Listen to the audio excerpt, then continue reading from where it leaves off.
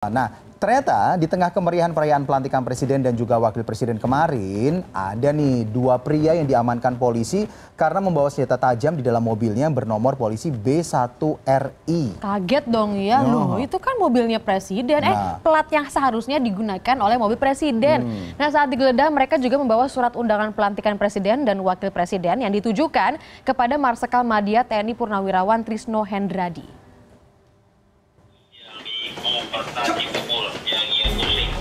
Dengan kedua tangan diikat, pemilik mobil B1RI yang diamankan pihak kepolisian karena membawa senjata tajam dan undangan pelantikan presiden digiring ke ruang penyidik di Treskrimum Polda Metro Jaya minggu malam.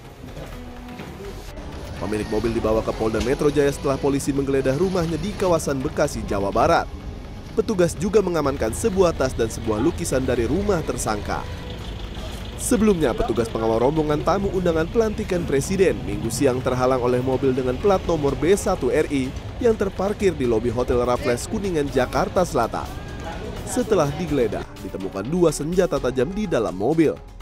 Polisi juga menemukan undangan pelantikan presiden dan pin veteran pejuang kemerdekaan.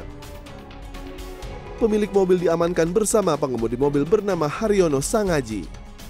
Sementara plat nomor mobil B1RI yang terpasang juga dipastikan palsu. Belum ada keterangan resmi dari pihak kepolisian terkait peristiwa tersebut. Saat ini pengemudi dan pemilik mobil masih diperiksa intensif di Polda Metro Jaya. Tim Liputan, CNN Indonesia.